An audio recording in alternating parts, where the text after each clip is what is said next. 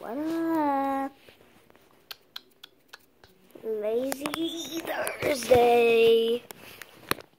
Yeah, of course, it's Lazy Thursday. Why wouldn't it be? Yeah, this is the life doing nothing. Absolutely nothing. But I did have school today and